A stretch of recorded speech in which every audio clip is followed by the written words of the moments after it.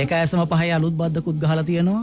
චිරන් දැන් මේ බදු ගැනනේ අද කතා කරන්න හිටියේ නේ. ඔය ගහලා ගහලා එකතු කරගන්න බදු වලින් මොකද කරන්න කියලා. ඔව් එහෙමනේ අපි සැලසුම් කරන් හිටියේ කලින්. ඒතර ඒක නෙමෙයි අද කතා කරන්නේ. නෑ අද කතා කරන්න එක නෙමෙයි.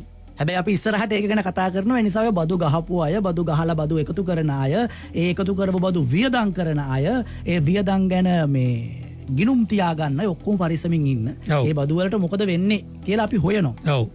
දැන් ඒක එහෙම තියෙද්දි ඇයි අද මොකද්ද මේ වෙන මාතෘකාවක් කතා කරන්නේ? අපි මේ අද කතා කරන මාතෘකාව එහෙම නැත්නම් අද අනාවරණය කරන කාරණාව සම්බන්ධයෙන් අපි ඊයේ දවසේ net FM බැලුම්ගල Facebook පිටුවේ යම් ඉඟියක් පළ කරා. ආ තිලිනි. හ්ම්. තිලිනි ප්‍රියමාලි. තිලිනි ප්‍රියමාලි කොච්චර ප්‍රිය වුණාද කියලා කියනවනම්. කතා කරලා වැඩක් නෑ ඒක ගැන. ඉතින්. සෑහෙන මුදල් ප්‍රමාණයක් ඇය වංචා කරා කියලා තමයි කියන්නේ. ඔව්. සෑහෙන පිරිසක් වංචාවට ලක් වුණා කියලා තමයි වැඩිදුරටත් කියවෙන්නේ. ඔව්. කී දෙනෙක් වංචාවට ලක් වුණාද කියලා කියන්න බෑනේ. ඒක තාම ගණන් හදමින් තියෙන්නේ. කොච්චර විතර මුදලක් ඇය වංචා කරලා තියෙනවද? ඒක කියන්නත් බෑ. ඒ මොකෝ? හේතුව දැන් ඇය අත්අඩංගුවට ගන්න දවසේදී තිබ්බ මුදල නෙමෙයි ඊට පහුවදා වෙනකොට ඒ ගාන වැඩි වෙලා. ඊට පස්සේ විමර්ශනය ආරම්භ කරලා තව තව පොලිසි වලට පැමිණිලි එන්න පටන් ගන්නකොට තිබ්බ ගාන නෙමෙයි දැන් තියෙන්නේ. දැන් තියෙන එක නෙමෙයි හෙට තියෙන්නේ. දැන් හරියට අර බෝම්බයක් පිපුරුවා වගේ නේ. දැන් බෝම්බයක් පිපුරුවාම අපි කියනවානේ අතුවාල කරුවන් මෙච්චරයි මියගිය සංඛ්‍යාව මෙච්චරයි. හැබැයි තව පැයකින් ඒක අප්ඩේට් වෙලා ඒක වැඩි වෙලා. හ්ම්. එහෙම මේ මේ මේ තිලිනි ප්‍රියමාරි නිසා තුවාල ලැබපු අය ජීවිතයට හානි වෙච්ච අය. පැයෙන් පැය දවසින් දවස වැඩි වෙනවා. ඒ නිසා දැන් මේක කතා කරන්න බැරි ව අතාරින්න බැරි මාතෘකාවක් වෙලා තියෙනවා. ඒ නිසා අපි අද තිලිනි ප්‍රියමාලිගේ මේ සුද්දේ ගැන කතා කරන්න හිතුවා. හැබැයි තිලිනි ප්‍රියමාලිලා ඕනේ තරම් චිරාන් තව ඉන්නවා. ඒ කියන්නේ මේ නම විතරයි වෙනස් වෙන්නේ. ඒ එහෙම අය රොත්ත පිටින් ඉන්නවා. ඒ ඒ රොත්තේ සෑහෙන පිරිසක් ගැන net FM බැලුම් කළා අපිත් රටට හෙලි කරලා තියෙනවා. කියන වෙලාවල හැබැයි සමහරු අපිට බැන්න. ඇයි ඔහොම කියන්නේ? එයා හරි හොඳයිනේ. අපි ජීවත් වෙන්නේ එයා නිසා අපිට කන්න බොන්න දෙන්නේ එයා. හරියට වෙලාවට කලාවට කියපු පොලිය අපිට දෙනවා. දෙවියෙක් වගේ මිනිස්සෙක්. හැබැයි දැන් දෙයියෝ හැංගිලා. දෙයියෝ නෑ දැන්. දැන් දෙයියෝ හොයාගන්නත් නෑ. ඒ අස්සේ තිලිනි ප්‍රියමාලිව කොහම හරි ඔන්න නීතිය රැහැනට කොටු කරගෙන තියෙනවා. ඔව්. දාලා දැන් අ, අත්අඩංගුවට ගත්තට පස්සේ අධිකරණ නියෝගයක් මත රක්ෂිත බන්ධනාගාරගත කරලා ඉන්නවා. ඔව්. හැබැයි තිලිනි ප්‍රියමාලිත් චිරාන් දැන් මේ වැඩේ කරා කියලා කියන්නේ තනියෙන් නෙමෙයිනේ. ඔව්. තව පිරිසක් ඉන්නවා. ආ වල උදව් ලැබුණා ඍජුව සහ වක්‍රව. සහ ඇය ළඟ මේ මුදල් ආයෝජනය කරා කියලා කියන්නේ මේ මේ ඔබ මම වගේ මේ සාමාන්‍ය පඩියක් ගන්න සාමාන්‍ය පුරවැසියන් නෙවෙයි. නේ. අසාමාන්‍ය ආදායම් තියෙන අය. මොකද අසාමාන්‍ය ගණන් වලින් තමයි මුදල් තැන්පත් කරලා තියෙන්නේ ඒ කියන්නේ සමාජයේ ප්‍රභූයයි සම්මත පුද්ගලයෝ තමයි මේ තිලිනි ප්‍රියමාලිගාව සල්ලි දාලා අහු වෙලා තියෙන්නේ. දැන් දැන් කෙනෙක් හිතනවා ඇති අයියෝ ඕක මොකද දැන් ඕක හැමතැනම කතා වෙනවනේ අපි ගන්න දන්න ඔය කතන්දරේ ඕක. මොනවත් තව අලුතෙන් කියන්නේ. දන්නේ නැති ඒවා තව ගොඩක් තියෙනවා ඔව්. පොඩ්ඩක් පොඩ්ඩක් කොනිතලා පටන් ගමුද ඔව්. දැන් මේ මේ තිල්ලි ප්‍රියමාලිගාව මේ මුදල් ආයෝජනය කරපු අය සම්බන්ධයෙන් මේ නම් ලයිස්තු ගියානේ. අහවල් කට්ටිය ඉන්නවා අහවල් කට්ටිය ඉන්නවා. එතන මේ එක තැනක කියුණා බස්නාහිර පළාතේ හිටපු ආණ්ඩුකාරවරයෙක් ඉන්නවා කියලා. දිල්ෂාන් අපි හොයාගත්තා. කවුද ආණ්ඩුකාරවරයා කියලා. ආයේ නම කියවෙච්ච නැති ආණ්ඩුකාරවරයා ඔව්. ඒ තමයි මේ බස්නාහිර පළාත් හිටපු ආණ්ඩුකාර අසහත් සාලි මහත්මයා. අපි කතා කළා එතුමට. ඔබතුමාගේ නම සම්බන්ධ කරලා ප්‍රවෘත්ති වාර්තා වෙනවා තිලිනි ප්‍රියමාලි කියන කාන්තාවට මුදල් ලබා දුන්නා සහ ඔබතුමායි සම්බන්ධයෙන් සම්බන්ධ වෙලා ඉන්නවා කියලා. මම කතා කරේ ඔබතුමාගෙන් ඔබතුමා මේ සම්බන්ධයෙන් දැනුවත්ද මුදල් ලබා දීමක් කළාද කියලා දැනගන්න. මම තාම කම්ප්ලේන් එකක් කරලා නැහැ පුතා. මම කම්ප්ලේන් එකක් කරලා නැහැ. මගේ යාළුවෙක් කම්ප්ලේන් කරලා තියෙනවා CID එකට. ඒ වගේ කම්ප්ලේන්ස් 10ක් ගිහලා තිනවා. ඔව්. මම ටියුස්ඩේ විතර තමයි ගිහලා ඊට පස්සේ මම ඔයාලට කියන්නම් ඉස්සරේ. ඒ කියන්නේ ඔබතුමා මුදල් ලබා දීමක් කරාද මේ කාන්තාවට? මම මම මම අඳුරලා දීපු මිනිස්සු දිහා තියෙනවා. ඒකේ මේ මිලියන 226ක් ගත්තේ ඇවිල්ලා මගේ යාළුවෙක්ගේ ඉඩමක් විකුණපු සල්ලිය.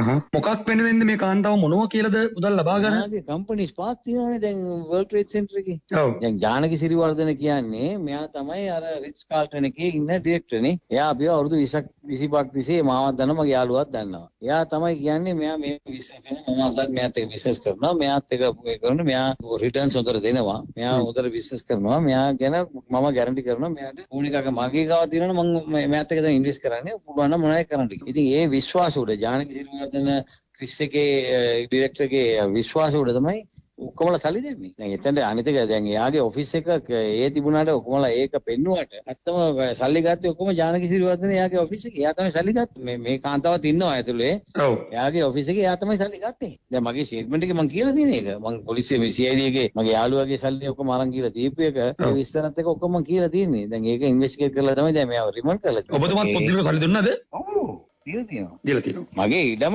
ඉඩම් දෙකක් විකුණලා සල්ලි. කොච්චරද මුදල් ප්‍රමාණය එන්නේ 80යි. ඔන්න එක්කෙනෙක් මිලියන දෙසිය විසි හයයි ඔව්. ඒ යාලුවා හ්ම්. ඕක මේ තේරෙන්න තව ටිකක් කිව්වොත් එහෙම කෝටි වලින් කිව්වොත් තේරෙනවනි ඔව් කෝටි විසි දෙකකට වැඩි හ්ම්. කෝටි විසි දෙක ඇසම පහක් එක්කෙනෙක් එක්කෙනෙක්. මේ අනිත් එක්කෙනා දැන් එතුමා පිළිගන්නවානේ බස්නාහිර පළාතේ හිටපු ආණ්ඩුකාර අසත් සාලි මහත්මයා මමත් සල්ලි දැම්මා ඉඩම් දෙකක් විකුණුණා. විකුණලා රුපියල් මිලියන 80ක් ඔව්. කියන්නේ කෝටි 8ක් හ්ම්. දාලා තියෙනවා. එතකොට ඒ අතරේ දැන් ඔහු තව ලස්සන කතාවක් කියනවා ඔව් මගේ හිතවත්කමට සල්ලි දාපු අය ගොඩක් ඉන්නවා කියන ගමන් ඔහු කියනවා. මමත් ඒ තවත් ගොඩක් අයත් සල්ලි දැම්මේ තව කෙනෙක් පිළිබඳ විශ්වාසයෙන්නේ කියලා. නමක් කියවෙනවනේ. ඔව් දැන් ඒ නම කියවෙන කෙනාට මේ එල්ල වෙන්නේ චෝදනාවක්. හ්ම්. තිලිනි ප්‍රියමාර සම්බන්ධයෙන් තියෙන්නේ චෝදනාවක්. ඒ චෝදනාව විමර්ශනය කරනවා. ඔන්න විමර්ශනය වේගවත් කරන්න. වේගවත් කරලා වැරදිද වැරදි නැද්ද කියලා රටට කියන්න. තව කෙනෙක්ගේ නම කියවෙනවනේ. ඔව්. දැන් ඇය සම්බන්ධයෙන් අපි කිසිදු විමර්ශනයක් කරලා නැහැ. නැතෙෆෙන් බැලුම් ගල අපි කිසිදු විමර්ශනයක් ඒ දෙවනි නම සම්බන්ධයෙන් කරලා. ඔව් ඒ නිසා ඒක කෙනෙක් තව කෙනෙක්ට කරන චෝදනාවක්. හ්ම්. ඒ චෝදනාවේ ඇත්ත නැත්තත් මේ විමර්ශන නිලධාරීන් හොයා බැලිය යුතුයි. අනිවාර්යෙන්ම හොයා බලන්න. ඔව් ඒ නම කියවෙන කෙනාට අපි මේ අපහාස කරන්න යන්නේ. හ්ම්. ඔයා වැරදිකාරයෙක් කියලා කියන්න යන්නේ නැහැ. ඔයා මේකට හවුල් කියලා කියන්න යන්නේ. ඔව්. නොකියන්නේ හ්ම්. එහෙම කියන්න අපි ළඟ සාක්ෂි සාධක එකතු කරගෙන. ඔව්. අපි ඇය පිළිබඳ විමර්ශනය නොකළ නිසා. ඔව් ඒ වගේම අපි ඇයට ආරාධනා කරනවා එන්න. අපිට කතා කරන්න. බිඳුවයි එකයි එකයි දෙකයි පනස් පහයි තිස්තුනයි හැටතුන. ඔබට ඉඩක් දෙන්න ඔබේ කතාව කියන්න අපි අවස්ථාව දෙනවා. පස්සේ කියන්න එපා අවස්ථාව දුන්නේ. කියලා. බිඳුවයි එකයි එකයි දෙකයි පනස් පහයි තිස්තුනයි හැටතුන. නම කියවිලා ඒ කියවිච්ච නම සහිත තැනැත්තිය. අතඩංගුවට අරගෙන. දැන් රක්ෂිත බන්ධනාගාරගත කරලා ඉන්නවනේ කෙනෙක්. අන්න එයා ගැන තමයි අපි අද මේ පැටිකිරිය දිගාරින්නේ. දැන් ඩෙලිෂාන් මේ ඔය පැහැදිලි කිරීමත් එක්කම දැන් මේ අර නම් ලයිස්තුව ගියානේ සමාජ මාධ්‍යවල නම් ලයිස්තුව කියන්නේ අර මුදල් තැන්පත් කරපු අයගේ නම්. ලයිස්තුව. ඒක දෙකක් තිබ්බනේ. ඒ කියන්නේ මුදල් තැන්පත් කරපු අයත් ඉන්නවා මුදල් තැන්පත් කරුවන්ව පොළඹවපු අය. කියන්නේ අර ව්‍යාපාර සහායකයන් සහායිකාවන් කියන අයත් ඉන්නවා. ඔව් දැන් එක්කෙනෙක් වැඩේ පිළිගත්තා රයිට් මගේ විශ්වාසයට තමයි මේ කට්ටිය මෙතන මුදල් තැන්පත් කළේ ඒ තමයි බස්නාහිර පළාත් හිටපු ආණ්ඩුකාර අසත් සාලි මහත්මයා ඒතර ගොඩක් අය කියපු නැති නම් ලයිස්තු එක නමක් ඔන්න අපි හෙලි හෙලි ඈ? ඔව් සහ එතුමා ඒක පිළිගන්නවා හා, හා. ඉඩම් දෙක විකුණලා මෙන්න මෙච්චර සල්ලි ප්‍රමාණයක් මම දුන්නා කියලා ඒක පිටිපස්සේ තවත් අය ඉන්න පුළුවන් කියලත් එතුමා ඉඟි කරනවා. ඉඟි කරනවා එතකොට විමර්ශන නිලධාරීන්ගේ ඇස යොමු වෙන්න ඕන තවත් තැන් ඔන්න අපි ඇරලා පෙන්නවා. තව. තියෙනවා අහන් ඉන්න. ඔව් දැන් මේ තිලිනි ප්‍රියමාලිත් එක්ක මේ ව්‍යාපාරය කරගෙන ගියා කියලා තව කාන්තාවකගේ නමක් කියවෙනවා. ඇය තමයි මේ ජනප්‍රිය නිලි ප්‍රවීණ නිලි දමිතා අබේරත්න මහත්මිය සෑහෙන ජනප්‍රිය අය අයත් මේ දවස්වල. අපි කතා කළා එතුමියටත් කියන්න තියෙන්නේ පැහැදිලිවම මෙච්චරයි. තිලිනි ප්‍රියමාලි කියන කෙනාව මම පුද්ගලිකව හඳුනන්නේ නැහැ. ඔය දැන් කොරෝනා කොරෝනා පටන් ගත්ත ගමන් මට මගේ අයියාගේ දරුවා ඇක්සිඩන්ට් වුණා. එතකොට මගේ අයියාගේ පුතා ඇක්සිඩන්ට් වෙලා ඒ දරුවා හොස්පිටලේ ඉන්නකොට මට කෝල් කරා මේ ෂෙරින් ප්‍රනාන්දු මහත්මියගේ කෙනා ජීවන් අයියාගේ වයිෆ්ගේ යාළුවෙක්. මේ මේ මෙයා තමයි කෝල් කරේ. මගේ අයියාගේ දරුවාගේ කකුල කපන දවසේ තමයි මෙයා කතා කරේ. මට කතා කරන්නවත් මානසිකත්වයක් තිබුණේ නැහැ. මං කිව්වා බොහොම ස්තුතියි කතා කරාට. ඇයි කෝල් කරේ කියලා ඇහුවාම මට කිව්වා ඔය හොස්පිටල් එකේ මේ අපි පුතාව තියලා තිබ්බේ ජෙනරල් හොස්පිටල් එකේ. උතනින් එළියට අරගෙන ප්‍රයිවට් හොස්පිටල් එකකට දාමු මම බිල ගෙවන්න. මට ඇත්තට මේ වෙලාවේ මේ ඔබ කතා කරන්නවත් ඉඳලා තිබුණේ අපි එතකොට ඒ වෙලාවේ පුතාගේ ජීවිතේ බේරගන්නේ කොහොමද කියන එක ගැන විතරයි අපිට ඔළුව තිබුණේ. ඒ වගේම ඊට පස්සේ මම පුතාගේ කකුල එදා කැපුවා. ඊට පස්සේ ආයෙ දවසක් අ, මම හිටියෙත් නැහැ. මෙයා මගේ ගෙදරටම ඇවිල්ලා තිබුණා මේ පුතාට කොහොමද කියලා බලන්න. ඊට මම හිතන්නේ සති කිහිපයකට පස්සේ දා මම හිටියෙත් නැහැ. මම දන්නේ කොහොම හොයාගෙන ආවද කියන්නත් මම දන්නේ නැහැ. එහෙම තමයි පටන් ගත්තේ. ඔව් තව ටිකක් ඒ කතාව ගියා මම එහෙම ලොකු සම්බන්ධකමක් තිබුණ නැහැ කුමටත්. මම එයාගේ එයාගේ කෝල් එක එන්ටර්ටේන් කරන්න ගියෙත් නැහැ. ආ ඒක කියන්න උතුණා එයා මට කෝල් එක ගත්තෙම ඉස්පිරිතාලේ ළඟට ඇවිල්ලා. මේ මම මේ මෙතන ඉන්නේ මට පුතාව පොඩ්ඩක් බලන්න පුළුවන්ද කියලා. කුමාරි මම එතනට ගිහිල්ලා කතා කරලා ආවා. ඔන්න. ඒ කියන්නේ මං කව බොහොම ස්තුතියි ආවට ඒ වෙලාවේ පුතාව මේ ඔපරේෂන් එකට ගත්ත ඇතුළට. එතකොට ඒ වෙලාවේ පුතාව බලන්න බෑ. බොහොම ස්තුතියි ආවට මං හිතුවා දැන් ශෙරින්නක්කි කියලාද දන්නේ ඇව්වේ කියලා. මං ඒත් කව ශෙරින්නක්කිට ස්තුතියි කියන්නේ මට ඒ වෙලාවේ වෙනව සිහියක් තිබුණේ නැහැ. ආයි ශෙරින්නක්කිට කෝල් කරලවත් අහන්න. කුමාරි මම ගේට්ටුව ළඟට ගිහිල්ලා ස්තුතියි කියලා ආවා. ඔන්න එතෙන්දි තමයි මං එයාගේ මූණ දැක්කේ. එච්චරයි ඊට පස්සේ කුමාරි කිසිම කවදාවත් එහෙම ආවෙත් නැහැ. පුතා පුතාට එයා උදව් කරන්නම් කියලා තමයි අම්මි ගෙදරට ඇවිල්ලා කියලා තිබුණේ. නමුත් එහෙම කිසිම උදව්වක් අපි යාගෙන් ගත්තෙත් නැහැ. කොහොමරි ඔහොම ඉන්නකොට දවසක් මගෙන් එකපාරට කතා කළා මේ දැන් මම ඒ නම්බරේ සේව් කරලා තියාගත්තා මම සේව් කරේ ෂෙරින් අක්කිගේ ෂෙරින් අක්කිස් ෆ්‍රෙන්ඩ් තිලිනි කියලා. ඒ කියන්නේ මට එයා එයාව වෙනම සේව් කරන්න විදියක් මම දැනන් හිටියේ නැති නිසා. කියන්නේ දැන් මේ තිලිනි සහ දමිතා අතර මුලින් එහෙම දැන නැහැ. ඔව්. ඒ දැන හඳුනුම්කම හැදෙන්නේ තිලිනිත් දන්න එතකොට දමිතත් දන්න දෙන්නම දන්න කෙනෙක් හරහා. ඔව්. ඒ කෙනාව තිරිනිත් දන්නවා ඒ කෙනාව දමිතත් දන්නවා ඒ හරහා තමයි බ්‍රිජ් එක හැදෙන්නේ පාලම හැදෙන්නේ ඔව්. ඊට පස්සේ ඉතින් දැන් කිව්වනේ මේ ටෙලිෆෝන් නම්බර එක සේව් කරගත්තෙත් අර ඒ හඳුනාගත්ත කෙනාගේ නම මුලට දාලා කියලා. ෂෙරින්නක්කගේ නමින් ඔව්. ඉතින් මේ එහෙම සේව් කරගත්තට පස්සේ කෝල් එකක් දීලා තියෙනවා. මට එකපාරට කතා කරලා ඇහුවා මේ දමිතා මේ ඔයා දන්නේ නැතුණාද ෆීල්ඩ් එකේ ගොඩක් අය මාව දන්නවා. මම ඉතින් ඔයාට උදව් කරන්න ආවට ඔයා එක බාරගත්තෙත් නෑනේ කියලා කිව්වා. මං කිව්වා නෑ තින්නේ මට ඒ වෙලාවේ මට මං හිට මානසිකත්වයත් එක්ක මට කතා කරන්නවත් එහෙම කල්පනාවක් තිබුණේ නැහැ. මට ඒ වකවානු නම් හරියට මතක නෑ. මාස කිහිපයකට පස්සේ ආයෙ කතා කරලා ඇහුවා මේ ඔච්චර දුක් විඳින්න ඕනේ නෑනේ ෆීල්ඩ් එකේ ඉන්න ගොඩක් අයගෙන් අහලා බලන්න. මම තමයි ගොඩක් අයට සපෝට් කරන්නේ එහෙම කියලා කිව්වා. මං කිව්වා මොනකටද කියලා. මේ බිස්නස් කරන්න මේ ඔයා මට ලක්ෂ පහක් දාන්න. මං ඔයාලට ලක්ෂ පහ සතියෙන් ලක්ෂ 10ක් කරලා දෙනවා. මං කවනේ මට ලක්ෂ පහක් නෙමෙයි මුකුත් දාන්න ඕනේ මට ඒ වෙලාවේ මගේ අතේ තියෙන කීයක් හරි හරි රැක ගන්නයි මට ඕන කරලා තියෙන අනේ තිල්ලි මං ওই බිස්නස් වලට කොහොමදත් මට ඌව තේරෙන්නෙත් නැහැ. අනිත් එක එහෙම එහෙම කොහොමද එච්චර ලොකු පොලියක් දෙන්න ඔයාට පුළුවන් වෙන්නේ කියන එක ගැන මට ප්‍රශ්නයක්. කමන්නේ ඔයාගේ බිස්නස් එක ඔයානේ දන්නේ මට ඒක කොහොමදත් තේරෙන්නේ නැති බිස්නස් එකක්. ඒක මට ඒවට සල්ලි දාන්න බෑ කියලා මම එතනින්ම එයාට බෑ කියන එක කෙලින්ම කිව්වා. චිරාන් මේ මේ මේ මට පොඩි හදිස්සියක් තියෙනවා මං ගිහින් එන්නද? කොහෙද යන්නේ? නෑ අර ලක්ෂ පහක් දැම්මොත් සතියෙන් ලක්ෂ 10ක් කරගන්න පුළුවන්. දැන් මේ දවස්වල සල්ලි ප්‍රශ්න සෑහෙන තියෙන කී හරි දීලා ඕක කරගන්න පුළුවන් ඒක. ඔන්න ඔය කලබලේ තමා ඩෙලිෂාන් මේ අපේ රටේ ගොඩාක් අයට තිබුණේ. තියෙන්නේ දැනටත්. ඔය සල්ලි ඩබල් කරනවනේ සතියකින්. අන්න හරි. ඔහොම ඩබල් කරගන්න ගිහිල්ලා තමයි දැන් ඔය මේ ගොඩක් කට්ටිය අමාරු ඉන්නේ. අපි ඔයගේ තැන් ගැන කියනකොට දැනුවත් කරනකොට අපිට බැන්න. මේ කුරුණෑගලට මේ දවස්වල හරි රස්නේලු. ඕ එහෙත් තිබුණානේ එක්කෙනෙක් එහෙත් හිටියා මේ ආයතනයක් පවත්වාගෙන ගියා. හොඳට පොලී ගෙව්වා කියලා කිව්වා. ඈ පොරොන්දු පත්‍ර දීලා නියමිත දිනට ඒ පොලී මුදල් ගෙවනවා දෙවියෙක් එතුමා කියලා කිව්වා. අපි අපි අනාවරණ කරාම අපිට බැන්න. අපිට බැන්න අපේ ඒ කියන්නේ ඒ දෙස් තියපු විදිහට නේද? එහෙනම් අපේ පවුල් තියෙන විදියකුත් නැහැ මේ වෙලාවට. හැබැයි අපි දිලිෂාන් මේ අපි ඒවා සත්භාවයෙන් කළේ. රටේ තවත් කෙනෙක්ව ඒ උගලට වැටෙන්න දෙන්නේ නැතුව බේරා ගැනීම සත්භාවයෙන් අපි දේවල් ඒ දේවල් කළේ. දැන් මේ දෙස් තියපු අය අර දෙවියෙක් කියලා කියපු කෙනාව හොය හොය ඉන්නවා. ඔව්. කොහෙද හැංගුනේ කියලා. නේ අල්ලගන්න බැරි වෙලා ඉන්නවා. ඔව්. ඉතින් එහෙම තමයි මේ කලබල වෙලා සල්ලි ඩබල් කරගන්න ගියාම ඔය පන්නේව වෙනවා. දැනටත් එහෙම අහු වෙච්ච අය ඉන්නවනේ නේ. අහු වෙන්න බලාගෙන අයත් ඉන්නවා. ඉතින්. අහු වෙන්න බලාගෙන ඉන්න අයටත් අපි කියන්නේ අහු වෙන්න එපා. හ්ම්. අහු වෙච්ච අයටත් අපි කියන්නේ දැම්ම ගිහිල්ලා සල්ලි ටික ඉල්ල ගන්න. ඔව්. නේ ඔය ඩබල් කරනවා කියලා ඕවට අහු වෙන්න ඕ- ඕ- තියෙන සල්ලියක් නැති කරගන්න නේ වෙන්නේ. නේ දැන් අනිත් එක් අතට චිරන් දැන් මේ තිරිණි ප්‍රියමාලි ගාව ඇගේ ආයතනයත් එක්ක ආයෝජනය කරලා තියෙන්නේ එක්කෙනෙක් දෙන්නෙක් නෙමෙයි නේ ඔව්. සෑහෙන පිරිසක්. සහ ඒ ඒ ඒ අය මේ සුළුපටු අයත් නෙමෙයි නේ ඔව්. ප්‍රභූ පැලැන්තියේ නම දන්න නේ.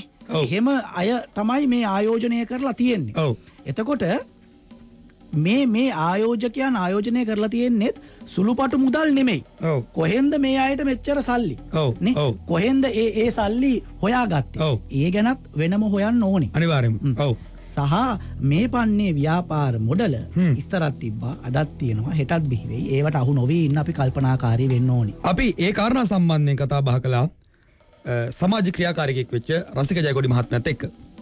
අර අතීතයේත් අපි දැක්කා සක්විති රණසිංහ මෙච්චර මේ මේ මීට සමාන දෙයක් කළා මුදීට වඩා සක්විතිගේ එහෙම නැත්නම් ගෝල්ඩන් කී වල සාමාන්‍ය පුද්ගලයොත් තමන්ගේ EPF ETF මුදල් වගේ දේවල් තැන්පත් කරපු කොටසක් හිටියා. ඒ තැන්පත් කරුවන් විදිහට නමුත් මෙතන අපිට දැනට අනාවරණය වුණ විදිහට ගොඩාක්ම මේ සමාජයේ ප්‍රභූ පැලැන්ති පිරිස් තමයි මේ කාන්තාව ගාව ආයෝජනය කරලා තියෙන්නේ. එතකොට එතන පොඩි වෙනසක් තියෙනවා. නමුත් කවදාවත් මේ වගේ දේවල් වලින් මේ මතු පිට තලයෙන් එහාට මේ පරීක්ෂණ ගමන් කරන්නේ ඒකට හේතුව මේ කළු ආර්ථිකය අතිශයින්ම ප්‍රබලයි. එතකොට මේ තිලිනි ප්‍රියමාලය කියන්නේ මේ තියෙන චෝදන ඇත්තක් නම් මේ කළු ආර්ථිකය කියන මේ විශාල කුණුකන්ද මත ජීවත් වුණු පොඩි කපුටෙක් විතරයි.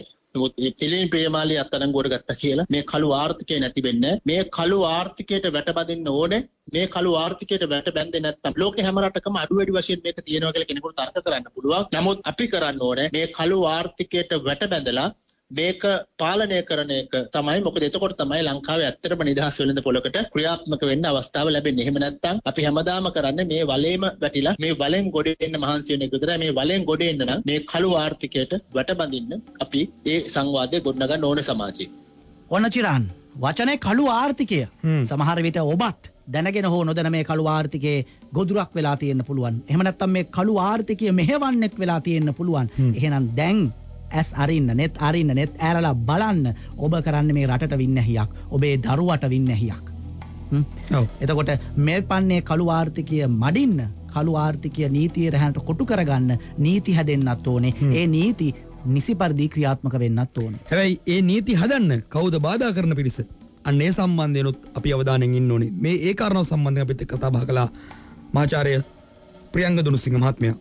මේ වංචනික කටයුතු වල නිරත වෙන පුද්ගලයෝම තමයි මේ ආයතන ශක්තිමත් කිරීමට ඉඩ නොදෙන්නේ. දේශපාලඥයෝම තමයි වක්‍රාකාරව රටේ වංචාව දූෂණයට අදාළව ක්‍රියාත්මක වෙන ආයතන ආ නීති පද්ධති නිසියාකාර යාවත්කාලීන කිරීමකින් හෝ ශක්තිමත් කිරීමකින් තොරව යන්නේ. එක්තරා ආකාරයකට මේක අර හොරු හොරු සමග ජීවත් වීමක් තමයි නිරන්තරයෙන්ම සිද්ධ වෙන්නේ. මේක ඉතාමත්ම අවාසනාවන්ත සිද්ධියක්. මොකද රටේ දේශපාලන යාන්ත්‍රණය, රටේ රාජ්‍ය අංශයේ ඉහළ නිලධාරී මට්ටම ව්‍යාපාරිකයන්ගේ ඉහළ ව්‍යාපාරිකයන්ගේ මට්ටම අනිත් පැත්තෙන් වෘත්තිකයන්ගේ ඉහළ මට්ටමේ ඉන්න පුද්ගලයෝ මේ සියලු දෙනාම මේ කියන කළු ආර්ථිකයේ නිරත වෙලා ඉන්නකොට මේ කළු ආර්ථිකයේ මැඩ පවත්වන්න අවශ්‍ය මැදිහත් වීම එන්නේ කොහෙන්ද? ඒක සාමාන්‍ය වැසියන්ට කිරීමේ හැකියාවක් නැහැ. ඒ නිසා මම හිතන්නේ මේ අවම වශයෙන් දැනුවත් මේ මේ රට මේ තියෙන අර්බුදයෙන් ගොඩ ගැනීමට සැබෑ අවශ්‍යතාවයක් තියෙනවා නම් මේ වංචාව දූෂණය කියන කාරණාවට අදාළව ඉතාමත්ම දැඩි නීති රීති හා ආයතනික පද්ධතීන් ගොඩ නැගීම ඉතාමත්ම අත්‍යවශ්‍යයි. මම හිතන්නේ මේ 22 වෙනි ව්‍යවස්ථා සංශෝධනය නෙමෙයි මේ රටට ඕනේ. ශක්තිමත් විදියට මේ වංචනික ක්‍රියාවල දූෂණ ක්‍රියාවල නිරත වෙන නිරත වීමට තියෙන ඉඩකඩ අහුරු වීමට අදාළ යාන්ත්‍රණයන් තමයි අවශ්‍ය වෙන්නේ. මම දේශපාලඥයෝ හිතාමතාම එවැනි දේ ප්‍රමාද කිරීමක් තමයි අපිට පේන්න තියෙන්නේ. රටේ විධිමත් බැංකු පද්ධතියක් තියෙද්දී ඒ බැංකු පද්ධතියෙන් පිට පිටුවල තියෙන මේ කළු බැංකු ගැන ඔබ දන්නවද? වැඩි පොලියක් දෙනවා කියලා අන්දලා කිසි පොලියක් නොදී මිනිස්සුන්ගේ ජීවිත විනාශ කරන මේ කළු බැංකු පිළිබඳ ඔබ දන්නවනං එන්න අපිත් එක කතා කරමු. තිලිනි ප්‍රියමාලි ගැන ඔබ දන්නවාද? තිලිනි ප්‍රියමාලිට අහුවෙච්චි කෙනෙක් ඔබ? එන්න එහෙනම් අපි කතා කරමු. බිඳුව එක එකයි දෙකයි පනස් පහයි තිස්තුනයි හැටතුන ඔබට විවෘතයි. වංචා දූෂණ අක්‍රමිකතාවලට එරෙහිව බැලුම්ගල ඊට පස්සේ ආයි හම්බුනේ පූර්ණිකාගේ උපන්දිනේට ඒකට මට පේෂල මනෝජ ආරාධනා කළා WTC එකේ තමයි තියෙනවා කිව්වේ. මම අනේ පේෂල මාලිගේ ආරාධනාව නිසා පූර්ණිකාගේ උපන්දිනේ දවසේ එයාව සර්ප්‍රයිස් කරන්නත් එක්ක මම අපේ චන්දන වික්‍රමසිංහ අයියා තව කලාකරුවෝ බොහෝ පිරිසක් හිටියා. ඉතින් ඒ සියලු දෙනාම මේ චන්දනයේ මම එකම ටේබල් එකේ හිටියේ ඒකයි මම චන්දනයගේ නම කිව්වේ. ඉතින් අපි ඔක්කොම ගිහිල්ලා මේ එදා ගැබිනි මව්වරුන්ට තෑගි පාර්සල් වගේක් දුන්නා. ඒ තෑගි පාර්සල් දෙනකොට උතර පූර්ණිකා මටත් ආරාධනා කරා එතන මේ තෑග්ගක් දෙමු කියලා. එතකොට මේ මේ උපන්දින මේ මේ මේ කටයුත්ත කෙරුණේ ඔය තිලිනි ප්‍රියමාලිගේ ඔෆිස් එකේ. ඔන්න මම පළවෙනි වතාවට තමයි තිලිනි ප්‍රියමාලිගේ ඔෆිස් එක දැක්කේ. එතකොට එදා උපන්දිනේ සාදයට ගිහිල්ලා ඒ උපන්දිනේට ගිහිල්ලා එතනේ ගැබිනි මව්වරුන්ට තෑගි දෙන පින්තූරයක් දාලා තමයි ඔය මට මඩ ගහන්නේ මට අපහාස කරන්නේ තිලිනි ප්‍රියමාලිගේ බිස්නස් වලට සම්බන්ධයි කියලා. දැන් මේ දමිතා අබේරත්න. නේද? ඇය ඇය කියන කතාව. ඔව්. එතකොට ඇගේ විශ්වාසය දිනාගත්තේ කොහොමද තිලිනි ප්‍රියමාලි කියන එක තමයි අය මේ පැහැදිලි කරන්නේ නේ. දැකපු නැති දන්නේ නැති කෙනෙක්. කොහොමද ලං වුණේ? ලං වෙලා හොඳ හිතවතෙක් වුණේ? හොඳ හිතවතෙක් වෙලා සල්ලි ආයෝජනය කරන්න කියලා යෝජනා කරන තැනට විශ්වාසය ගොඩනගා ගන්නේ කියන එක තමයි ඇය මේ පැහැදිලි කරමින් ඉන්නේ. ඔව් මේ වගේ මේ එක එක විදිහට මේවා ක්‍රියාත්මක වෙනවනේ ඩිල්ෂාන්. ඔය විශ්වාසය ගොඩනගා ගන්න විවිධ උපක්‍රම දරනවා තිලිනි ප්‍රියමාලි එක විදිහකට කරන්න පුළුවන්. තව මාලිලා තව විදිහට කරන්න පුළුවන්. ඔව් ඒක විවිධ අය විවිධ විදිහට කරනවා. දැන් මේ කාරණා සම්බන්ධයෙන් දමිතා අබේරත්න මහත්මිය තවත් පැහැදිලි කිරීම කළා අපිත් එක්ක තිලිනි ප්‍රියමාලි කියන පුද්ගලයා ඒ මේ මේ කාන්තාවගේ යම් කිසි දෙයකට මම සම්බන්ධයි නම් අනේ එතුමියගේ ෆෝන් එකේ ඇතිනේ මට කෝල් එකක් හරි දීලා තියෙනවද කියලා හොයලා බලන්නකෝ. දැන් මේ අවුරුදු ගාණක් තිස්සේ මගේ මේ මේ ම- දුරකථන අංකය මම පාවිච්චි කරන්නේ දැන් අවුරුදු 27ක් විතර තිස්සේ ඉඳන්. මගේ අංකය එකම අංකය. ඉතින් පුළුවන් නම් ඉතින් හොයලා බලලා හෙලිදරව් කරන්න. මම කියන්නේ මේ වගේ කූට මේ වගේ ජාවාරම් වලට සම්බන්ධ වෙච්ච මට දැනෙන දේ තමයි මේවා පිටිපස්ස අනිවාර්යයෙන්ම ලොකු දේශපාලන හස්ත ඇති. එහෙම නැතුව මේ වගේ මේ කාන්තාවකට මෙච්චර මේ ලොකු පෙරලි කරන්න බෑ. අනේ අපිට ගිහිල්ලා මේ රුපියල් 10000ක ණයක් ඉල්ල ගන්න කෙනෙක් නෑ අපිට. මන් දන්නේ මේ වගේ කාන්තාවකගේ වචනයකට රැවටිලා කෝටි ගණන් දැම්මා කියන මිනිස්සු මොන පදනමක් යටතේද මේගොල්ලන්ට සල්ලි දෙන්නේ? මට තේරෙන්නේ මේ මේ තරම් මිනිස්සු රැවටුණා කියලා කියන්නේ කොහොමද? තව ප්‍රකාශයක් කළා තිබ්බා. එතුමියගේ මේ මේ සල්ලි දීපු අයව පාලනය කරන්න, මර්ධනය කරන්න. ඒ අය අපව සල්ලි ඉල්ලද්දි ඒ අයව බ්ලැක්මේල් කරන්න යම් කිසි නිලියක් පාවිච්චි කරා නිලිය තුන්දෙනෙක්ව පාවිච්චි කරා කියලා. ඉතින් ඒ නිලිය තුන්දෙනා විදිහට දාලා තියෙන්නේ යුරේනිගෙයි මගෙයි පූර්ණිකාගේ නම් තුන. මම හිතන්නේ මේ රටේ මිනිස්සු දන්නවා. මං කියන්නේ මේවාට ඇත්තටම සම්බන්ධ වෙච්ච අයව කරුණා කළා මේ රට හෙළිදරව් කරන්න. දේශපාලන හස්තක් තියෙන්න පුළුවන් කියලා ඇය කියනවා. ඔව් දැන් එතකොට ඒව ගැනත් හොයන්න ඕනේ. එහෙම නැත්නම් හාල් මැස්සෝ විතරක් ඇල්ලුවා කියලා නේ මේ වැඩේ ඉවර වෙන්නේ නැහැ. හාල් මැස්සෝ වගේම තෝරු මෝලුත් අල්ලන්න ඕනේ. එහෙම නැත්නම් ඒ තෝරු මෝරු තව තව සෙල්ලම් දානවා. එහෙම තෝරමෝරු ඇල්ලුවේ නැත්නම් අර කළු ආර්ථිකයට වැටබඳිනවා කියන කාරණාව කරන්න වෙන්නේ අඩිෂා. දැන් අතරේ දමිතා කියන්නේ මේ නම් ලයිස්තුවේ තියෙන එක නමක් විතරනේ. ඔව්. තව එක්කෙනෙක්ගේ නමක් කියවුණානේ. දමිතම කිව්වනේ. යුරේනි නෝෂිකා. ඇයත් රංගන ශිල්පිනියක් නේ. ඔව්. ඇය ඇගේ Facebook පිටුවේ ඇය ඇගේ නිල Facebook පිටුවේ මෙන්න මෙහෙම සටහනක් තියලා තියෙනවා. ඔව්. මගේ නම සඳහන් කරමින් තිලිනි ප්‍රියමාරි නැමැති කාන්තාවකගේ කූට ව්‍යාපාරවලට මමද හවුල් වූ බවට කියවෙන WhatsApp පණිවිඩයක් මේ දවස්වල සංසරණය වෙයි. මේ සඳහන් කරන කාරණය සම්පූර්ණයෙන්ම අසත්‍යයක් බවත් මෙම කාන්තාව සහ මා අතර කිසිදු ව්‍යාපාරික හෝ වෙනත් කිසිම ආකාරයක සම්බන්ධයක් නැති බවත් තරයේ සඳහන් කළ යුතුය. පෞද්ගලීකවම මඩ ගැසීමේ චේතනාවෙන් ව්‍යාජ මාධ්‍යවේදී නම් යොදාගෙන සිදු කරන මෙම චරිත ඝාතන සම්බන්ධයෙන් මෙහි සඳහන් කලාකරුවන් සියලු දෙනාම නීතිමය පියවර ගැනීමට සූදානම් බවත් මෙහිදී කිව යුතුය. එතකොට මේ පන්නේ වංචාවක් වුණහම ඇත්තට මේකට හවුල් අයයි කිසිම හවුලක් නැති අයයි හැමෝගෙම නම් දාලා යම් යම් දේවල් සංසරණය වෙන්න පුළුවන්. ඔව්. සිහිබුද්ධියෙන් ඒවා කියවා ගන්නත් අපි සවිඥානික විය යුතුයි. අනෙක් කාරණා තමයි ඩිලිෂාන් දැන් මේ සම්බන්ධ නැති අයගේ නම් ලයිස්තුවක් එළියට දැම්මහම සම්බන්ධ අයට හැංගෙන්න ලේසියිනේ. ආයක කියන්නේ උපක්‍රමයක්. ඔව්. එතකොට මේ සම්බන්ධ නැති අය.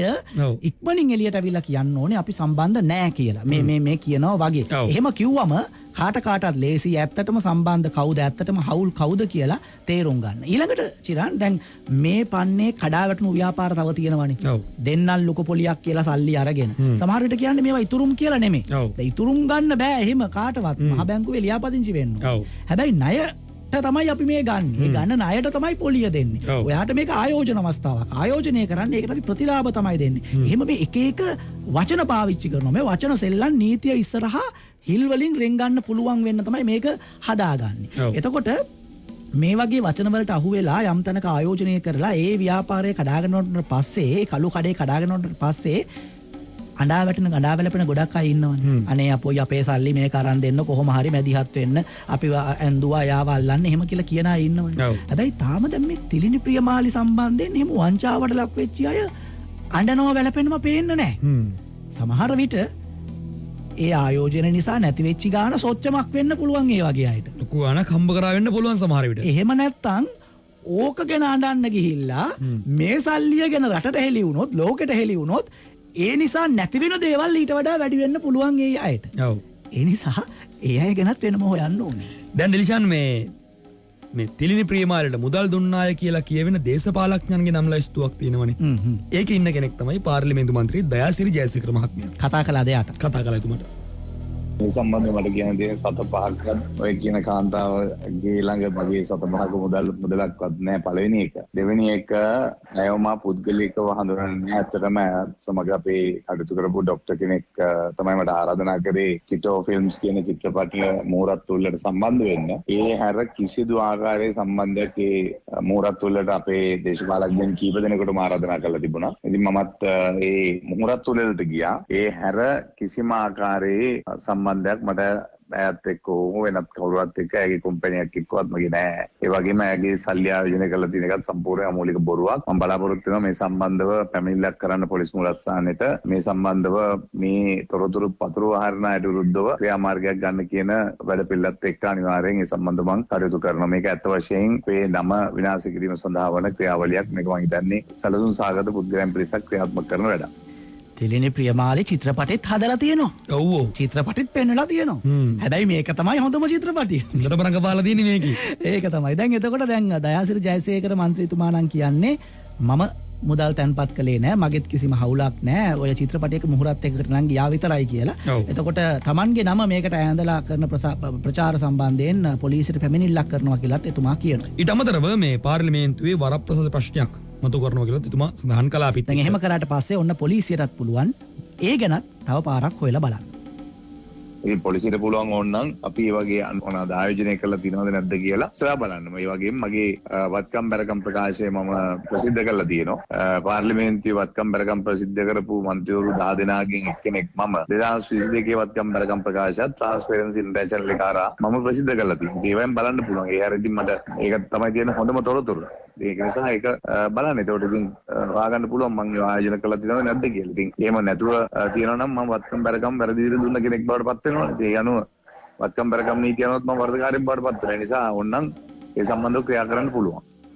දැන් ඩෙලිෂන් මේ කාරණාවලින් මේ පැහැදිලිව කියවෙන ආර්ථික කටයුත්තක් තියෙනවා. ඒ මොකද්ද කියලා අපිත් එක්ක යම් පැහැදිලි කිරීමක් කළා සමාජ ක්‍රියාකාරිකෙක් වෙච්ච රසික ජයකොඩි මහත්මයා.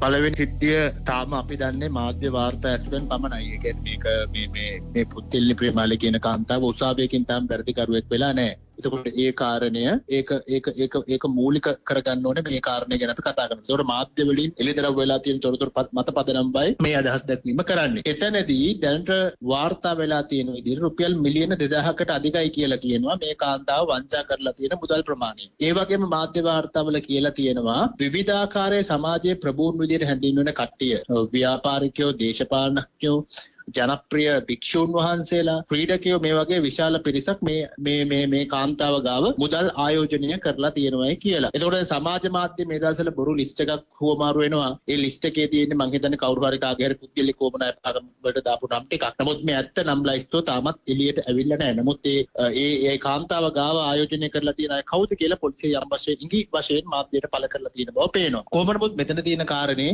කවුද මෙයා ගාව ආයෝජනය කරලා තියෙන්නේ හරි එහෙම නැත්නම් මේ පිටිපස්සේ තියෙන රස කතා ටික නෙවෙයි. මේකෙන් කියවෙනවා ලංකාවේ ආර්ථිකය ගැන ඊටාම ගැඹුරු ඛේද වාචකයක්. වංචා දූෂණ අක්‍රමිකතාවලට එරෙහිව බැලුම්ගල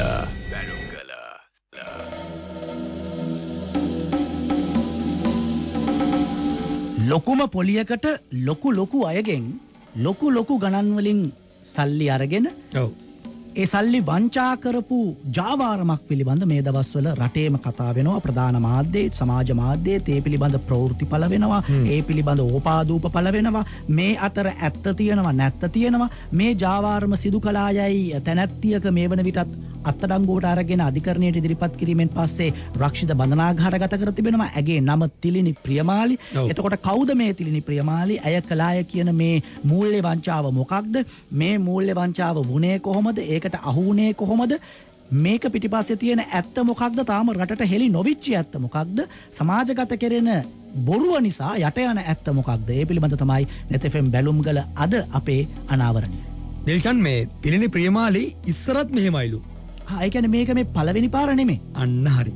මේ තිලිනි ප්‍රියමාලිට මීට කලින් වතාවකත් මීට අවුරුදු දෙකකට දෙකහ මාරකට විතර කලිනුත් මේ පන්නේ මේ කියන්නේ මේ නීති විරෝධීව මුදල් ලබාගෙන මේ ආකාරයෙන් ව්‍යාපාර කිරීම සම්බන්ධයෙන් මීගමුව අංක දෙක අධිකරණයෙන් චෝදනාවකට වැරදිකරු රක්ෂිත බන්ධනගත කරලා අධිකරණ ඉදිරිපත් කරනවා. වැරදිකරු යයි චෝදනා කරමින්. කරමින්. ඊට පස්සේ මේ එතනදී අප මත මුදාහරිනවා මේ ඒ ඇප ලබාදීම අ, සිදු කෙරලා තියෙනවා. අප මත මුදාහරෙනවා මේ මේක සම්බන්ධයෙන් කළපු විමර්ශනයේ අපිට අනාවරණය වුණේ අපිට දුන්නු දේ ඒ අත්තරංගොඩ ගත් අවස්ථාවේදී හරියට පොලිසිය හෝ ආරක්ෂකංශ ඇය සම්බන්ධයෙන් සොයා බැලීම් කරලා නීතිය නිවරදිව ක්‍රියාත්මක කළා නම් අද මෙහෙම දෙයක් වෙන්නේ නැහැ. අවශ්‍ය සාක්ෂි හරියට එකතු කරලා හරියට අධිකරණය හමුවේ තැබුවා නම්. එතකොට දැන් මේ දෙවනි පාරණේ. ඔය දැනුවත්. තව තියෙනවද දන්නේ නැහැ. ඒවත් හොයන්න. මේ පාරවත් හරියට සාක්ෂි එකතු කරලා සාක්ෂි ගොනු කරලා ඒවා අධිකරණය ඉස්සරහත් තියන්න. අර මම කිව්වේ ඔව්. සමාජගත වෙන බොරුවට ඉඩ දෙන්න එපා.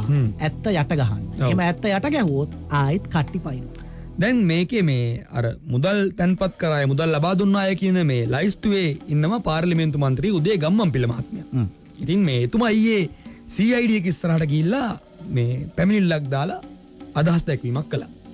සමාජ ජාලාවල වේගෙන් සංසරණය වුණා නම් ලැයිස්තුවක් තිලිනි ප්‍රියමාලීට මුදල් දුන්නු දේශපාලකයන් ව්‍යාපාරිකයන් සහ භික්ෂුන් වහන්සේලාගේ නම් ලැයිස්තුව කියලා සමාජ ජාලාවල සංසරණය වුණු නම් ලැයිස්තුවේ ඇත්ත මේක ව්‍යාජ එකක්. එහි මගේ නමත් සඳහන් වුණා. එතකොට දැන් ගෙවල් වල ප්‍රශ්න එක්කනවනේ. ගෙදර නෝනලා හදිසියට සල්ලි ඉල්ලුවම අපි හැම වෙලෙම කියන්නේ අතේ සල්ලි නැහැ කියලා. එහෙනම් ඉතින් තිලිනි ප්‍රියමාලට දෙන්න සල්ලි කොහෙන්ද කියලා ගෙවල් වල පවා ප්‍රශ්න ඇති වෙන කාරණයක්. ඉතින් මේක තාම වක්කීමෙන් කියනවා ව්‍යාජ නම් ලැයිස්තුවක් ඒ වගේම මෙතනට දාලා තියෙන්නේ පෞගිය දිනවල පාර්ලිමේන්තුවේ ආණ්ඩුව කර්කශ ලෙස විවේචනය කර මම දයසිරි ජයසේකර මන්ත්‍රීතුමා හේෂා විතානගේ මන්ත්‍රීතුමා චමින්ද විජේසිරි මන්ත්‍රීතුමා වගේ ආණ්ඩුව කර්කශ ලෙස විවේචනය කරන අයගේ නම් තමයි මේ ලැයිස්තුවට ඇ- ඇතුළත් කරලා තියෙන්නේ අර හොරුන් කියලා සම්මත සල්ලි කුට්ටි පිටින් එකතු කරන් ඉතා ඡන්ද කාලටේම බොහොම ප්‍රකෝටි ගන්න වියදම් කරන කාගේවත්වත් නම් මේ ලැයිස්තුවේ දාලා නැහැ. මේ සමාජ ජාලා ඉතාම වගකීම් විරහිත ජනතාව ප්‍රච පාවිච්චි කරන නිසා.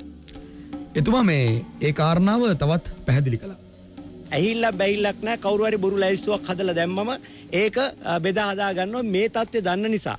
මෑත කාලේ දූෂණ චෝදනා පිළිබඳ පෞගිය සතියේ පාර්ලිමේන්තුවේ බරපතල ලෙස කතාබහට ලක්වුණු අමාත්‍යවරයෙක් සහ කුප්‍රකට කලාකරුවෙක් එකතු වෙලා මේ ලයිස්තුව හදලා සමාජ ජාලාවලට එකතු කළ බවට තමයි අපිට නිල නොවන වශයෙන් තොරතුරු ලැබිලා තියෙන්නේ. ඇමතිවරයාගේ වංචා දූෂණ පිළිබඳ පාර්ලිමේන්තුවේ මතුවලා ඇති වෙලා තියෙන සමාජ අවධානය වෙනතකට යොමු කිරීම තමයි මෙම ව්‍යාජ ලැයිස්තුවේ බලාපොරොත්තුව. මොකද ඇත්තටම තිල්නි ප්‍රියමාලිට සල්ලි දුන්නු දේශපාලකයන්, ව්‍යාපාරිකයන් සහ වික්ෂුන් වහන්සේලා ඉන්නවා. ඉතින් මේව ලැයිස්තුවක් පොලිසිය ගාව තියෙන බව දන්න නිසා ජනතාව ඉන්නේ කුතුහලයෙන් කවුද මේ ලැයිස්තුවේ ඉන්නේ කියලා බලාගන්න. එතකොට මේ අවස්ථාව පාවිච්චි කරලා සමාජයේ කුතුහලය සැබෑ වංචා දූෂණ වලින් වෙනත් පැත්තට යොමු කිරීමේ යටි අරමුණෙන් තමයි මේ ලැයිස්තුව ඉදිරිපත් කරලා තියෙන්නේ. මම අද ලිඛිතව අපරාධ පරීක්ෂණ දෙපාර්තමේන්තුවට දුන්නා සමාජ ජාලාවලට මෙම ව්‍යාජ නම් ලැයිස්තුව එක් කළ අයගේ දුරකථන අංක.